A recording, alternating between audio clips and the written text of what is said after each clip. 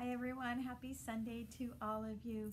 So, this is the 25th Sunday of Ordinary Time.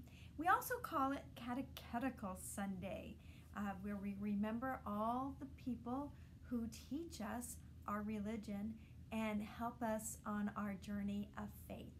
So, that's what today is. So, think about people you see on the news or on TV or in magazines and what, why, who are some of the people that are considered uh, great or very important in our world? Maybe like a president or king or queen or a movie star or a sports star, so many people. Why are they thought of as great or important? Maybe it's because these people have a lot of money or power or a special talent. In today's gospel, Jesus' disciples have an argument about who was the greatest among them.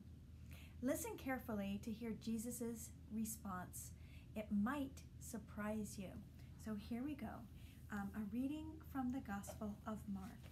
May Christ's words be on my mind, on my lips, and in my heart. Jesus and his disciples went to Capernaum and when they were inside the house, Jesus asked his disciples, What were you talking about on the way home? They didn't answer him because they had been talking about which one of them was the most important disciple. Jesus sat down and called the twelve apostles to come and sit with him.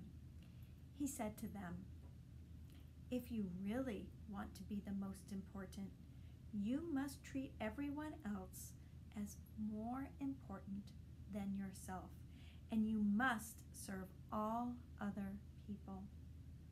Then Jesus put a little child in front of them. He put his arm around the child and said to his disciples, Those who accept a little child like this because of me are also accepting me, and those who accept me are really accepting the one who sent me. The gospel of the Lord. And we all say, Praise to you, Lord Jesus Christ.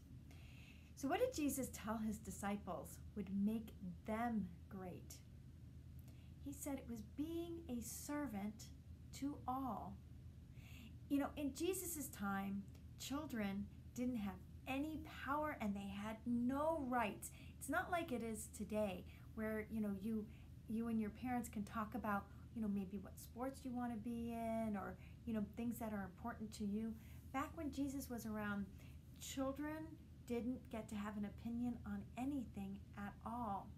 So it was very, very surprising that Jesus told the disciples that the children are great in the kingdom of God and that when they serve people, they have to serve them who are the least, what he said, are the least, like children. He also meant people who can't care for themselves, maybe the elderly, um, maybe, you know, people who are ill in some way. These are the people that Jesus wants us to serve and serve them like they are the most important people at all, of all. Jesus teaches us what is most important.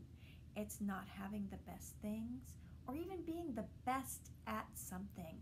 When we freely and lovingly serve others, we are great in God's eyes. So, with that, let's take a moment and pray in the name of the Father, and of the Son, and the Holy Spirit. Amen. And our response is going to be Lord, hear our prayer. For world leaders, we pray for leaders in the world to be fair and just in all their decision making. We pray to the Lord, Lord, hear our prayer. For our community, we pray that we will be generous with our time to anyone who is in need in our community. We pray to the Lord, Lord, hear our prayer. That we may always be Jesus' loving servants. We pray to the Lord. Lord, hear our prayer. Now let's just take a moment of silence and pray for those things that we hold in our hearts.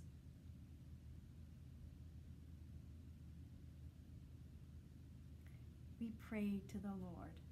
Lord, hear our prayer. Let's finish today with the prayer that Jesus taught us, the Our Father. Our Father, who art in heaven, hallowed be thy name. Thy kingdom come, thy will be done on earth as it is in heaven. Give us this day our daily bread, and forgive us our trespasses, as we forgive those who trespass against us. And lead us not into temptation, but deliver us from evil. Amen. In the name of the Father, and of the Son, and the Holy Spirit. Amen. Have a wonderful week, everyone. God bless. Bye.